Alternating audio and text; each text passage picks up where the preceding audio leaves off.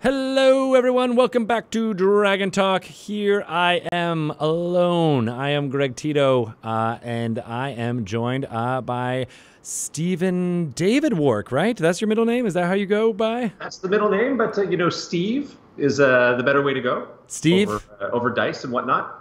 that makes total sense. I know it's so people have uh, whether it's a PH or a VEN. Uh, there's there's there's a lot of Steve's question marks out there.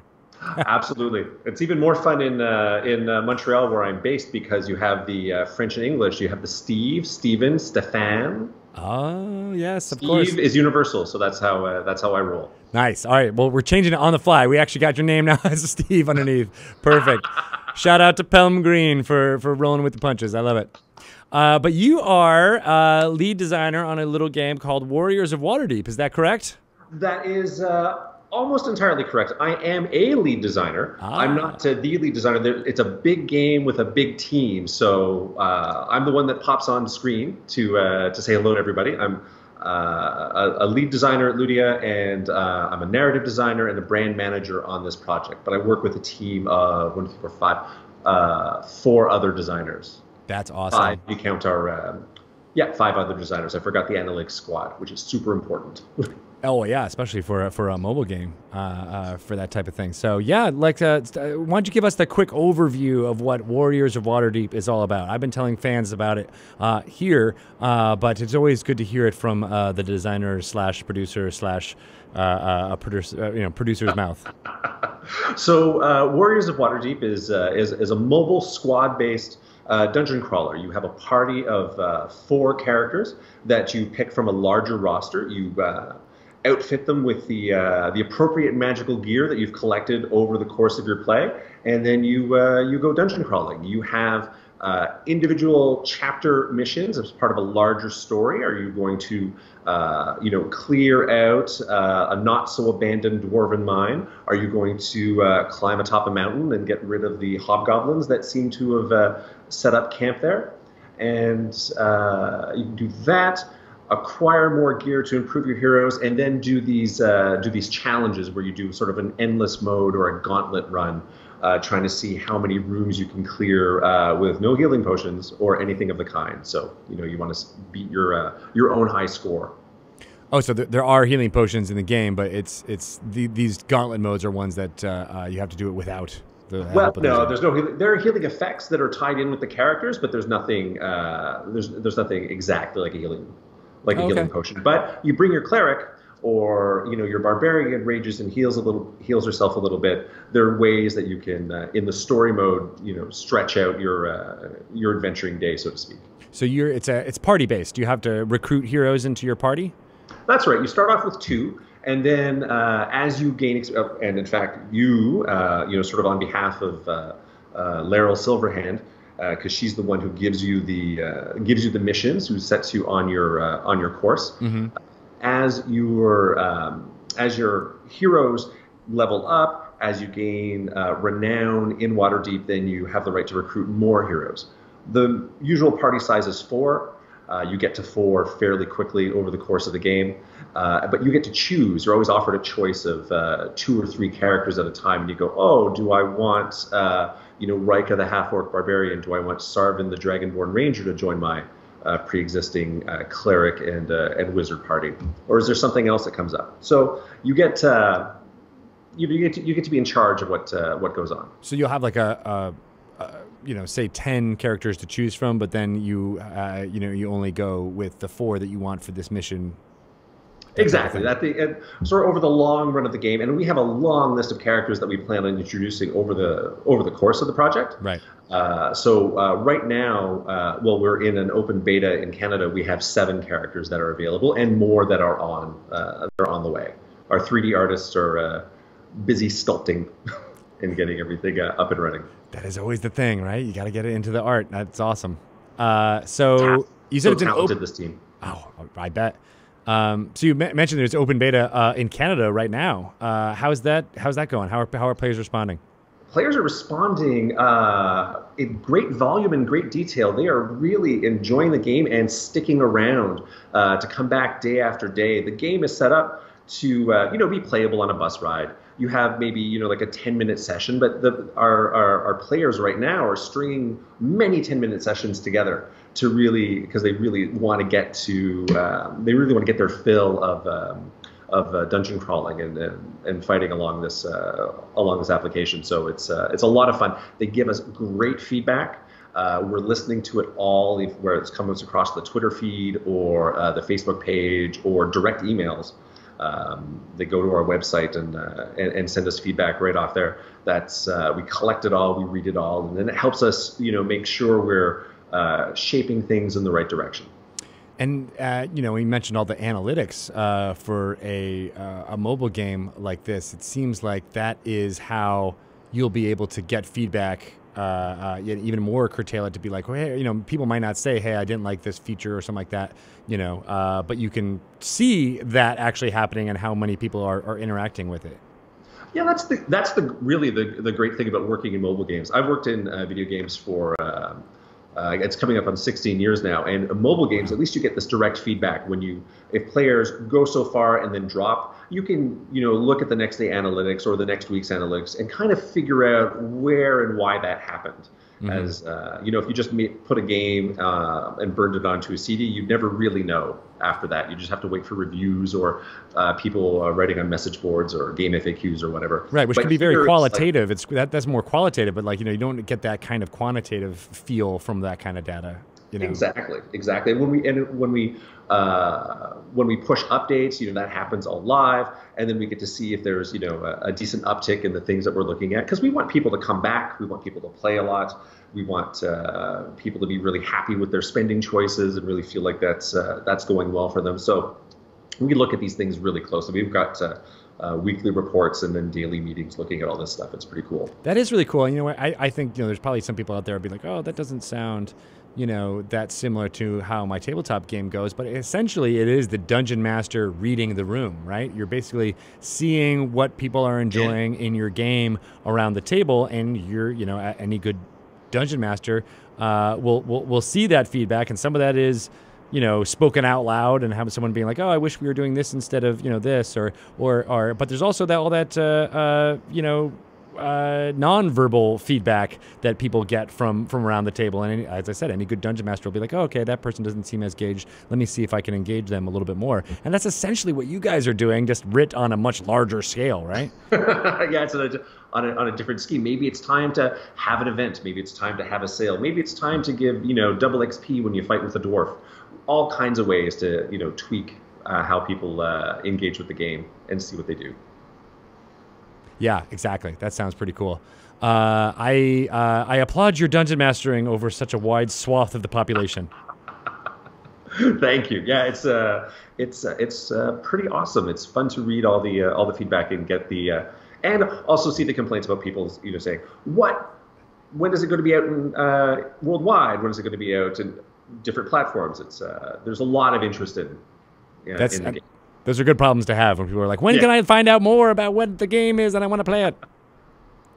Uh, very cool. Well, uh, so have you, you you mentioned I think in your uh, bio you sent over that you've been playing Dungeons and Dragons for 25 years, if not more. Oh, way more than that. I was actually bad at math. It's been uh, 35 years since I cracked open my first uh, player's handbook. It was a cousin's you know, on summer vacation, I look at this thing and wow. And I wrote my first letter to TSR when I was 11, going, "Hey, this deities and demigods book. Uh, one copy has Cthulhu in it, one copy doesn't, but you left him in the credits. What's the deal?" And they wrote back, and that level of you know engagement. Uh, I love that. Uh, entertained and irritated my uh, my elementary school teachers, and just you know kept me going. That's the that's the hobby. What was your? Uh, were were you were you only reading the books, or did you start playing uh, with your with with peers at that time? Yeah, I started playing. Started playing with my brother. We set up, you know, the uh, the lunch hour library D and D clubs. Uh, I didn't read the rules super carefully. I just saw there were 18s and 19s in the ability scores, and I saw 20-sided dice, so I started using that for character generation. All kinds of things went sideways, but it was pretty, uh, it was pretty uh, memorable. And uh, yeah, you know, and then and I mixed basic and advanced. This was back in the day. I didn't know any better, so it just it all worked. we hear that a lot from people who uh, uh, picked up the game kind of early on. Is that you know we didn't really know how to play, but we did it anyway, or like we figured out how to how to make it work based on the people that we knew and everything that was there. So. Uh, that's part of the fun of the game. I think at that point is is experimenting and, and figuring out which how to, how to, how to do storytelling in that way. Exactly, and it's it's, it's always fun to you know uh, find a group or find somebody uh, who will just you know hand you a character sheet, going, okay, well this is you. You're going to be this is a ranger. This is how it works. Be the best version of that you can be, and then you're just you're flying with Right. it. It's uh, it's uh, pretty entertaining. Awesome. Uh, I also just love that this game is set in Waterdeep when we're uh, so many of our players are going to be jumping into that city too. That is uh, that's fantastic. I mean, Waterdeep is such a we, we wanted to find really you know uh, you know the New York City of uh, the Forgotten Realms. It's so fun to have everything based in there. There's so many uh, uh, strong signature characters. Your your home base in the in the game is the Yawning Portal. So you've got Durnan looking sternly over at you over the over his bar. You uh, may from time to time uh, have interactions. Menu-based interactions. I don't want to oversell uh, with uh, with uh, with Mirt. Laeral gives you your quests, and then you have this story. We have, you know, um, as you go through this uh, multi-chapter story. Currently, we've got uh, three chapters in the game, and then more of that's coming out in the updates, and we're, uh, you know, seeing which bits uh, are the most uh, well received everywhere. Honestly, I think menu-based interactions with Mirt is probably the best kind of interactions you're going to get with him. it might be the safest. Yeah. Yeah, exactly. it might be the only way he won't swindle you out of uh, all of your gold. exactly. Uh, did you get it when you were at the uh, Stream of Many Eyes down in LA? Uh, I was. did you get a chance to hang out with uh, Chris Lindsay as Mirt?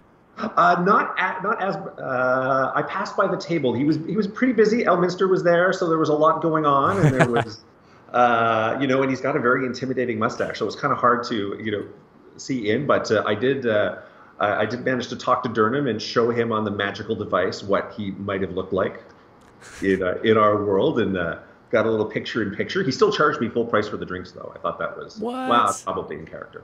Oh man, we got to talk to Rudy about that. That's not okay.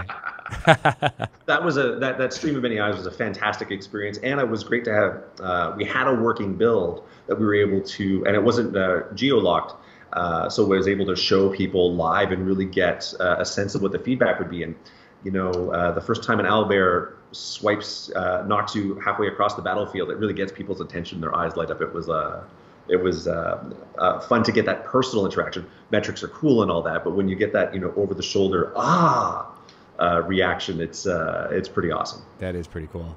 And uh, I love how this game too is all about uh, you know tactics and figuring out what's the best uh, way to solve a problem uh, uh, in, in on the battlefield in a way, uh, right? I mean, is that is that is that how you guys are approaching the design? Yeah, that's how we approached the design. We didn't want to do something where it was sort of uh, there's a there's a light puzzle element, but we didn't want to have it to be like an absolute must-have uh, magic bullet solution. You will never pass this level if you do not bring the warlock. Uh, maybe the warlock is your best playstyle choice. Maybe over all the gear that you collect for each of your heroes, you have something that works really well with uh, curses and debuffs, and that's how you're going to win. Other people, by the luck of the draw and their personal playstyles, want to uh, uh, you know boost their uh, boost their damage stats, and they won't they won't have a lot of health, but they'll hit for a lot, and then they'll manage their time that way. So, and that's and in terms of the written feedback that we've gotten, that people seem to really uh, really enjoy that part. You know, you you get to uh, really put on your thinking cap and and and figure out what's the best thing you can do with the uh, with the choices that you've uh, that you've made Mm-hmm. to that point. So that's a lot of fun. And uh, you know, I think uh, the goal was to try to get you to, um, um, to to emulate a little bit the tabletop experience, right? Where oh, that I had this big plan, but I rolled really bad. or the you know the saving throw just didn't didn't break my way. So uh, what can I do now? Is it do I do I charge? Do I move backwards? Do I hope that uh, the wizard bails me out? There's uh, lots of stuff like that. I love that. Uh, and there's there's some like branching uh, things in the tunnel, right, as well. So there is some choice for the player. Is that true?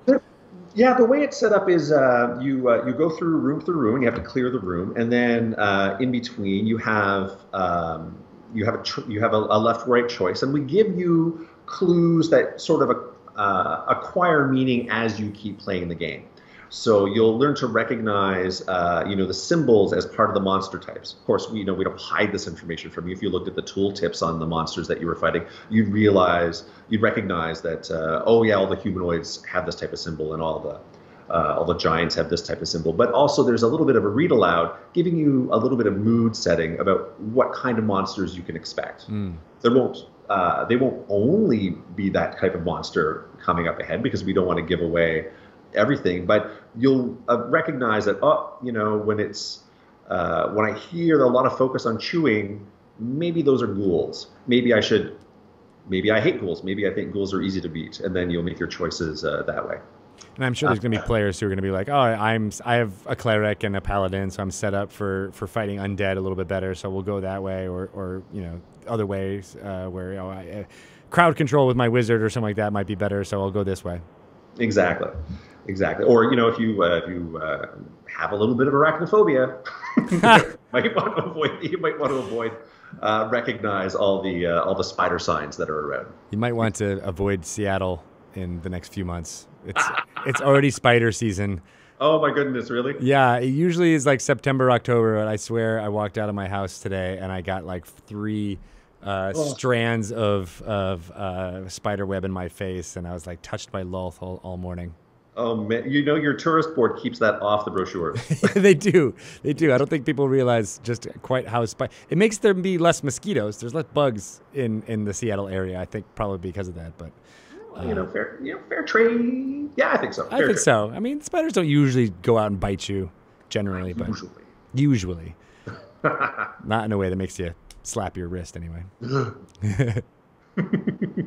uh, so, are there are there uh, trips down into uh, uh, the the Underdark where you might see some some spiders in in this game?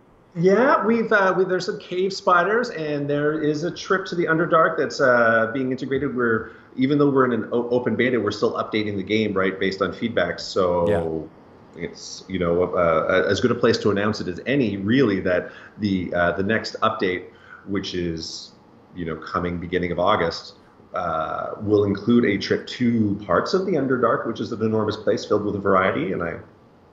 There are things that can be done if uh, a couple of our fans have already uh, gone through most of the content, so they've already had little hints about which bits uh, we're going uh, we're going down and how we're going to look at it. But there's a lot to uh, there's a lot of world to cover, so uh, we'll do a little bit now, and maybe we'll do a little bit later. It all depends how uh, how things go. And how does the the kind of release schedule or or the, or the idea of the continuing story of Warriors of Waterdeep uh, pan out for you? What, what's what's your plans there? How much can you talk about uh, now no, about? Not as much as not as much as I would like. We have a, uh, a loosely quarterly update schedule, but if people want more characters than places, well, then maybe we'd adjust. I mean, this is where the metrics, uh, oh, metrics yeah. come in, right? Uh, if people really want uh, specific places, if we know, you know, uh, in, in, discussions with you and uh, at, at, at, Wizards, what's coming up maybe that'll determine what, where the next place we go hmm. is because it's kind of cool to keep it all you know loosely in that ever popular present right i had i had fun dropping a couple of uh, you know storm king's thunder hints here and there in the script for people that would that would uh, could pick it up. And it'd be nice to uh, it's always fun to keep that uh, keep all those options open. For sure right? And i think that's what the beauty of uh, all the d&d lore is is that you can hint at pretty much you know any story in the last uh, uh, uh, you know 200 that you've been going through that have been awesome uh, to be like oh what if we go there? What if we go somewhere like that uh, that's that's awesome there's a there's a lot to, to, to mine for a game like this There um, is. oh my goodness so much stuff and so many sources too, right? I mean, some of the characters uh, come from some of the characters are invented. Some of the characters came from the comic book, right? Sarvin, well, he went from two lines in Storm King's Thunder, and then you know was featured character in the comic books, and it's fun to uh, watch these characters uh, grow in other media. or, yeah. You know, it's pretty uh, it's pretty cool. It's that whole transmedia idea, right? Where you're like, oh, here's this thing that's really interesting, and then you know, here's Boba Fett. People like Boba Fett, so let's have a whole comics books about him, or you know, that that uh, people love that. So uh, yeah. I do too, and I like I like ha- being in the know as well. Exactly. Exactly. It's fun to keep track. So are you playing in uh, uh, D and D, uh, you know, weekly sessions now? What's Yeah, we have a, we have a we have a weekly game. It's been going on. Uh, we used to have uh, twice weekly, and then uh, well, the work picks up, so it's once uh, it's it's uh, once a week. We're playing through uh, Storm King's Storm King's Thunder, Nice. and that's a lot of fun. I've been doing it for um, 34 sessions, so it's been basically a year and a half wow. All right. that, we, that we've been doing. So uh, you know, a group of, a group of six of us, and we're just playing it. And so I read. I have to promise the GM, right? I read just enough for my job. Although on um, on uh, Wednesday's game, um, on, on our game last week, uh, I knew he mentioned something, and I knew something that I wasn't supposed to know. So I looked him dead in the eye and I said, "History check. Make me roll a history check." I have something to say. And uh, thankfully, I got uh, I rolled an 18, so it was okay. I was allowed to know the thing that I knew. nice. Yeah. What if you had failed? You'd have been like, I don't know nothing. I hear nothing. And I'm tapping it out in Morse code on the table, Everyone. getting ready to use the Slack channel after work. Right. Here we go. I'm just That's saying fun. we should look for this thing. What uh, what kind of character are you playing? Uh, I'm playing a uh, tiefling paladin named Mercy. Oh. I it's weird. Uh, I, I usually don't know how to play my characters until I get some kind of enchanted item, preferably cursed or intelligent, and then it, all of a sudden things snap into focus. So um, an old campaign I played in, I was didn't know what to do until I got a um, uh, I got a sword of vengeance, and then I went a little crazy, and it was great. For uh, for mercy, I got this. Um, uh, early on in the campaign, I got this uh, battle axe that was sort of infused with the, the ghost of the mayor of the first town that we that we liberated, and I decided that I would be uh, very interested in uh, urban renewal and urban politics and making sure that uh, the infrastructure, you know, was supported uh, goodness because that's how we made. Anyways, I just started riffing on that, and that's thanks to this axe. defending population seemed really easy to me as a thing to conceptualize. So the giants come in and take our granaries. Well, let's let's stop that, and then let's help the hill giants with their food pop, with their food problem. And then it, the rest of the party stares at me a lot. I was gonna say there's not very many uh, uh, gods of infrastructure in uh, D and D. Everybody can dream, have aspirations. It's important to know. I am the goddess of of uh, uh, government spending. It uh, it helps that my girlfriend is a building inspector, so I'm just used to hearing her talk about all these infrastructure things. So it just sort of pops up, going, "Oh my goodness, the drainage is not to code." Da da da da da. I, uh, I, I actually love that kind of stuff because it makes you know I mean uh, the heroic fantasy can sometimes hand wave the fact that there's like a working civilization that you're Yeah. a part of right and I love the kind of simulation type games where you're like all right well we have to interact with the local magistrates we have to interact with the with the peasantry or you know or things that make it feel very real because if what are you questing for if if not to make your civilization run better Exactly. It's, it's it's this is the piece that's being preserved, right? So you want you want to improve it at uh, at that level. It makes for fun uh, fun little side encounters, I think. Yeah, exactly. That's why I, I one of my favorite characters was a uh, a, a theater producer who was going around. He was like he was an adventurer, but he was basically like, all right, I'm doing research on which uh, uh, towns would be the best to take my my theater troupe when we go on tour next year or something like that. you know, and then oh, if I save you know the local uh, uh, you know pig that's you know tra- trapped in a well or something like that, well then they're gonna buy tickets to go see my show when I come back here next year. Absolutely. Right? The, name recognition. That's a great. Also, it's a great cover story. I love it. It is a good cover story, right? Because there were so many traveling, you know, troops and troubadours and bards of, of that time. Exactly. Yeah. Plus, I just like the idea of a working theater person being in a D and D campaign. Well, I mean, there's a lot of showman, uh, you know, show business spells in there, right? You know, prestidigitation. You can do a lot of stuff with that. Uh, uh, an invisible servant in the right place at the right time can uh, can have all kinds of uh, all kinds of fun effects. I mean, not to mention just all the illusion spells that you have, right? You could basically, you know, produce an entire movie, uh, or you know, um, uh, that kind of level of quality in illusions if you Yeah. wanted to, right? That's like your You're little walking around. animation studio that you've got in spells. That's my next character. It'll be uh, Pixaro. It. Hold on, writing it down now. exactly. You'll dungeon master that one. So, do you? Uh, so, you're a player in this campaign. Are you? Uh, have you been a dungeon master before? Do you like that role? I've been a dungeon master, uh, you know, back in back in the high school days where it was, you know, very fly by the seat of your pants, and I would roll dice to figure out which page of the monster manual I would turn to, and that would be the encounter. Yeah. That would be. Uh, of late, uh, I've been, you know, the the the DM dad. So I've got my kids uh, and uh, my stepkids playing in uh, an annual summertime D and D game, and it started off as just a terrible way to teach them math. they would roll. I would set. They have their figures and play this map. I had the old uh, 3.5 players kits. You know the big square boxes with the dragons in it. Yeah. So they, they took their miniatures and I simplified the character sheet. And I just anytime they wanted to fight, I just made them roll a dice and made them uh, add 17 to it. And if they got it right on the first time, first try, they hit. And if not, well, it took a couple of tries. And then we that's how we worked it out. And it's expanded over um, over the years since then. But yeah, we still have these little like note paper uh, plot lines uh, for our Heroes of Kingdom Land uh, campaign, and that's how that uh, that's how that works. So they started off when they were six, and they've and uh, you know now they're uh, closer to 12 or 15. So that's how that that's how that's gone. What, what was it? Heroes of Hero Land? Uh, Heroes of Kingdom Land. Kingdom Land. Kingdom Land. I went. Oh, man. You know, straight straight into the point. What, what's the capital of Kingdom Land? Is it Kingdom Landberg? I think I, I think it was Castle. I think it was Castle King. Actually, I think that's what we decided. That we Castle gonna King. Castle King. That's oh, who lives there? The king lives there. In his castle. Ah, Yeah. yeah. I no need that. for a fancy address there. You just know. yeah, you just know. You're like, yeah, just send Just all know. my packages Amazon Prime that way. Okay, good. Uh, it's a, yeah, it all works out. it all works out that way. That's super cool. I love. I mean, I asked because you know I have my kids too, and I basically did the same thing you did, where I, I gave them a character, but it was you know a couple of numbers written down on a sheet, and I had them roll a die, and it was like, all right, that's you know above ten, you you, you succeeded, you know, Yep. and uh, uh, kept them busy that way for a few minutes before they moved on to something else. Yeah, the kids uh, the kids really look forward to it. It's uh, it's you know the summertime tradition. Although they've been multi-purposing the uh, the figures and the and, and you know the library of, of game books that I've got.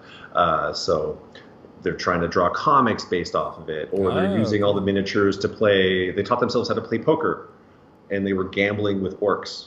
Nice. And, uh, three orcs was worth a troll. And I'm having this horrible flashback to when I cracked when I had the um, uh, the first edition Dungeon Master's Guide. Right there was that appendix for casino games Yeah. at the end. Thank you, thank you, Gary Gygax, for lists of everything that you can do with herbs and everything that you can do with uh, with dice and poker cards. Right. in this game, and uh, yeah, the the wheel keeps turning. The kids uh, They found that, and they're like, we're running with it. Yeah, yeah, they're ready. That's cool.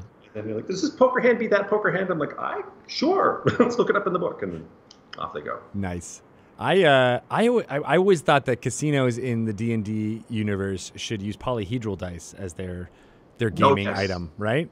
So I, I think I, I designed a little like blackjack type game that used dice uh, uh, as it was, you know, as you get in higher in variables. So as, you know, you started off with a one d four, and then you place bets on when you're gonna uh, break 20, 21, I think is what I still was using Oh, fun. right? Okay. And then it gets, you know, you, you you bid like, all right, I'm going to bid this to add a d20 to it, and then you're all right. Well, that that could break you pretty easily, or you might get lucky and roll roll low.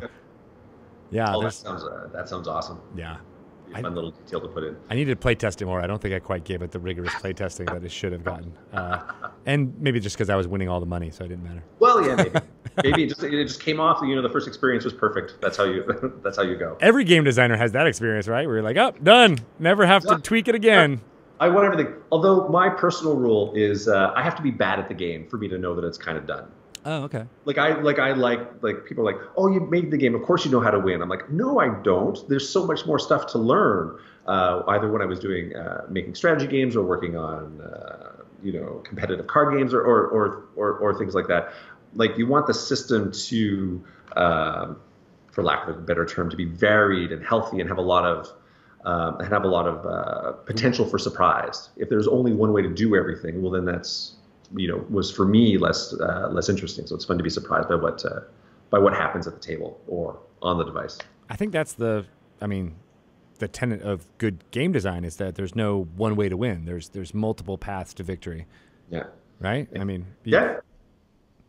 Absolutely. And uh, and uh, and every game provokes a story because even if there's not a story, you know, baked into the game, the story is you talking to your friends about what happened in this game that you were playing Right. and how you know by by circumstance things worked out this way, and you had this um, and you had this.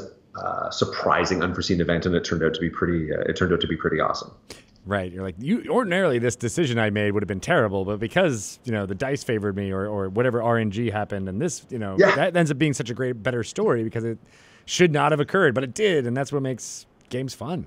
Yeah, we had to run with that. Uh, there was one um, uh, in the other Office campaign. There was a scenario where I was, I think, I think an Elven Ranger, and I was in dis- I was disguised as an orc.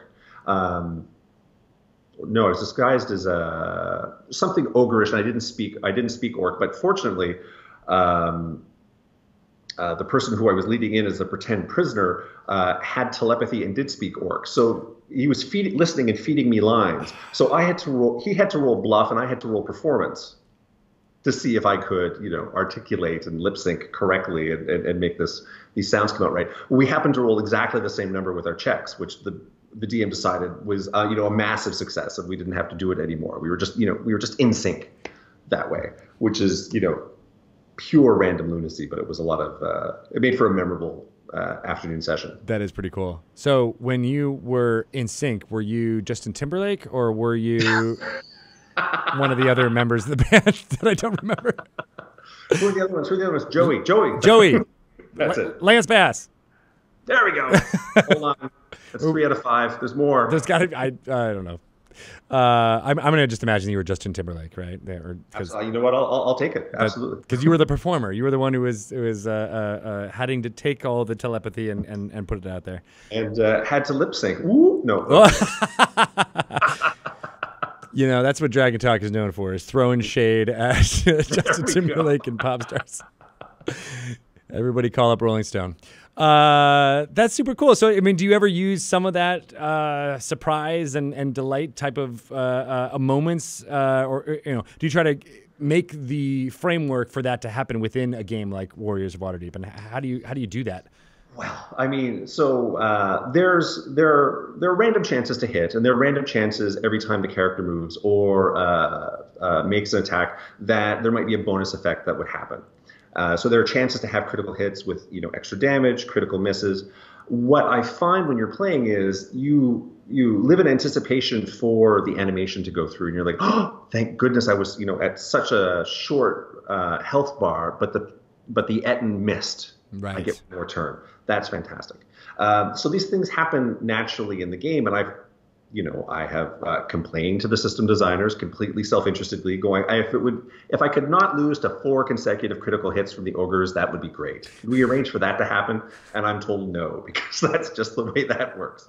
Uh, but I know random number generator means random number. It could be. You know, it's too important to be left to chance, though. That's my answer. We have to script everything from now on. Yeah, you know, we've all done it behind the screen. If it, maybe, maybe You're like, but me. you're like, but I'm on the team, so can you just put in a code that so I don't get four crits in a row? Everybody else can. everybody else could be fine. But you know, we open this with our thumbprints. Just saying. Just saying, there can be personal code for me. Uh, so that kind of stuff happens, and people tell these stories that you know, oh, if it wasn't for you know one unfortunate miss versus a boss, or uh, thank goodness I got that um, that extra effect and the damage dealt, you know, doubled. That's what uh, that's what got me over the hump and into the next chapter. Right. And people uh, do talk about it. We uh, we don't. Um, uh, we don't contribute to sort of the online chatter like we, we keep we keep a break, but we keep our our, our uh, virtual ears to the ground. We see things that uh, pop up on Reddit. We see things pop up on uh, on Discord uh, and the like, and people or you know on our Facebook page, and people talk about those those moments, these um, these uh, improbable things, and and uh, it's it's fun to see that if it wasn't for you know giving a buff at the right time, they might not have made it uh, through the chapter, and they're really pleased with it. That's a you know it's a signature moment and it helps um, uh, drive their interest and they come back the next day. So yeah, because that that, that feels like you're you're able to play the game the way D and D is supposed to be played, right? Like you know you're gonna get that bad hit and have your you know important party member you know be on the ground, but if you are able to have the prep, you know you prepped and had the cleric ready, and then he's got the spell that he can do it, and that just feels like even though it was a a net bad and that someone was you know unconscious in the game, it feels like you were prepared and able to to beat the the the, the bad guy by having the right stuff prepared. Yeah, yeah, you have the the right. You brought the right inventory uh, into uh, into play with you. That's the goal. Yeah, and uh, so we you know we're always we never 100 percent sure that we got it right, but that's always what we're aiming for and we're refining to make sure that uh, it comes out that way. Have so. you been seeing a lot of people? Uh, play it the way you described, or it's like they, they, they you know pick it out, uh, you know, pick up their phone while they're in a queue for something, or or or you know just the downtime of other you know normal motions and times where you'll be looking at your phone, so you're on the elevator and stuff like that? Are people able to to get a few minutes of fun D and D play in? People are able to get a few minutes of uh, D and D fun now. So the people that I see are you know along my route, so they're you know colleagues who play uh, not because we asked them to, but because they were eagerly awaiting to it. It's it's fun. So people not on the team, but people on our uh, you know like on our Jurassic World team or uh, the other projects that we have at Ludia. Yeah. But uh, you know uh, you know we've we've met. Uh, I'm a tall guy, so I'm always looking at people's phones on the subway, going, "What are they playing? What are they playing?" And one day it's going to be one of mine or one of ours, and I'll be you know and you'd be like, "Oh, by the I way," I won't say anything because I'm, you know, I'll be polite about it, but I'll be like, "Yes." oh, I was gonna say that was a very American thing. I was like, "Oh," I'd be like, "By the way, I I, I designed that game," but as a Canadian, you'd be like, "Oh no, I would never say." I would just, you know, glow a little. I would just smile a little bit on the inside. That's fantastic. Uh, so yeah, I mean, what's the uh, uh, schedule for the next uh, couple of months for you guys? Schedule for the next. So uh, this open beta, you know, it's a it's a big game with a lot of variables, so it's uh, stretching out for um, you know through the rest of the year as we uh, have regular updates for. Um, uh, well, obviously bug fixes. I mean, you know, it wasn't perfect the first time it uh, it you know hit the hit the Google Play Store, but um, you know more content to test, more characters to play with. Uh, features get adjusted on the fly because uh, even in our uh, initial batch of numbers, we can see, you know, now we can look at trends and and and and uh, try some stuff out in this space. So you know, we're we're still we're still going to be in uh, in soft launch, uh, you know, for the pretty much the rest of the year, and then we go world, and then you know, share the fun, share the joy with everybody. That should be so fun! I can't wait. Yeah, I think I'm going to move. I love watching people play the game. It was so hard not talking about it, and then you know waiting for, uh, you know, you, then when the game was announced, just waiting to get it, you know, out there distributed and then start getting that feedback. You know, you want to you made this thing, and you hope that it, uh, you hope that people have as much fun with it as uh, you had uh, making it, and you want to see that it's, uh, you know, it's a viable thing, and you know, thank goodness it's uh, been pretty well received so far. So we want to keep that going. That's good. That's good. I can't wait for the uh, for the wide release. Uh, for uh, so you're thinking 2018 for that? Is that what you're saying?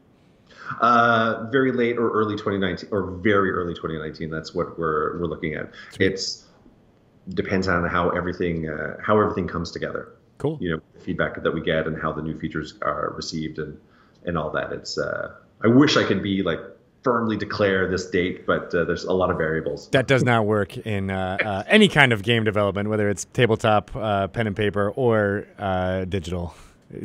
any any kind of hard schedules are very hard to come by, for yep. sure. Uh, well, how can people find out about it now, other than moving to Canada so that they can play it? Well, I mean, please move to Canada so you can play, or get yourself a Canadian Google Play Store. It's really viable, and it's oh, it's a little hot now. I gotta say, but uh, we have uh, our website, warriorsofwaterdeep.com, where we're uh, taking uh, pre-registrations. So they'll we'll email you when the game is launched uh, wide, and if you pre-register, we'll be um, giving out at the wide release a, a Laeral Silverhand gift pack.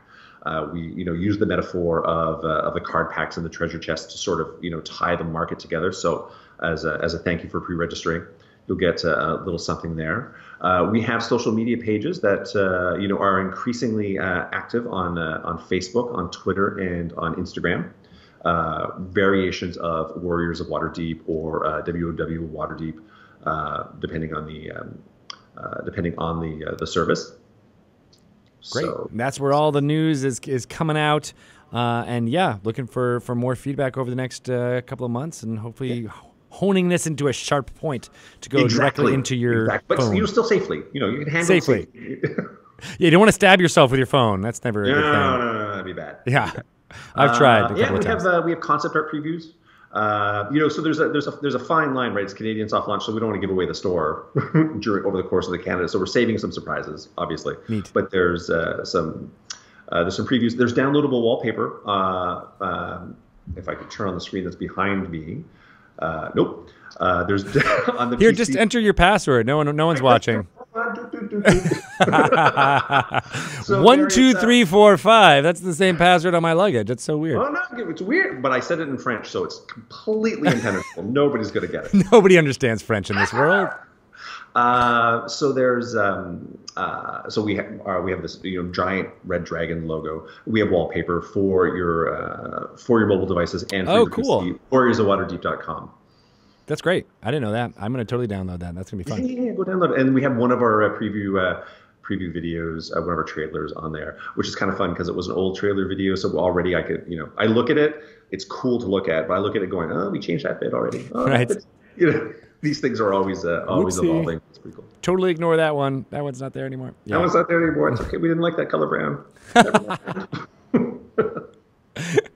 Oh, the little things that go into uh, uh, making or breaking some things is crazy. Like just like you're changing a color, and then all of a sudden people are like, "Oh yeah, this is a great." Uh, uh, you know, dragon or something like that. If it just had a you know little bit of a different shade on the pixels, and all of a sudden more people respond to it than other people don't. It's uh, it's it's wild how uh, how uh, fandom works, how just people perceive things and perceive value, and it's hard to it's hard to guess. And also, you know, we're super close to it, right? We're in the trenches, making the you know making the game, and you know. Uh, you know, living the dream a little bit. Wow, we get to play in this huge world. There's so much. There's so much stuff to do it, and yet always take always uh, making the effort to uh, to test it with other people, to take a step back and make sure that we're bringing new people in, right? Because Yeah. the this game is intended to uh, for the casual um, mobile RPG fan and to bring them into this cool world as much as it is to uh, you know sort of uh, highlight a different experience for uh, the established D and D fan. Nice. I love it. Well, thanks, uh, Steve, for all the great work you're putting into uh, making this game awesome. Uh, I can't wait to share it with more people outside of the North American amazing country of, of Canada. Uh, and then, uh, yeah, we'll, we'll, I don't know. I hope your, your, your Storm King's Thunder session uh, or, or campaign continues to go well. don't read ahead or don't listen to Dice Camera Action, uh, uh, you know, season two if you want to. Avoid There we go. spoilers. Okay, noted. I'll take it. I'll take it off the. Uh, I'll take it off the list. Awesome. Well, thanks for being on. I think you're actually going to be on uh, Dragon Plus soon. Is that right with Bart Carroll? Yes, yeah. With uh, Bart Carroll, we'll uh, be on uh, we'll be on Dragon Plus, and we'll have uh, maybe some things to show. So that'll be pretty cool. Excellent. So, uh, Twitch folks, I think you're, you're going to be on that tomorrow, or is that the next week? Uh, next week. Next week. Uh, so, Twitch uh, listeners uh, or viewers, rather, uh, you'll be able to watch that next week. But those of you listening to this in podcast form, uh, you can go back and look at that video on demand in case you wanted to see uh, live gameplay in action uh, and/or uh, some video trailers and some visuals from Warriors of Waterdeep, uh, which should be great. Cool. All right. Well, thanks a lot, Steve, and uh, right, we'll we'll be in touch with you soon. All right. Au revoir. All right. Bye bye bye. He said au revoir, which means something in ogre, I think. I think it's ogre. I can't hear you. I can see you still, but I can't hear you. Uh, thank you, Twitch people. Uh, we are going to take a very short break and then get ready for Mr. Chris Perkins to come in and uh, uh, drop some lore bombs on us. Uh, I think we're only going to do, I think, two topics for lore, and uh, then we are going to get out of here around 4:30 and uh, kick it off for the Loading Ready Run Crew Dice Friends, uh, which should be a lot of fun. So I'll be back in here in just a couple minutes with Mr. Chris Perkins. Thanks, everybody.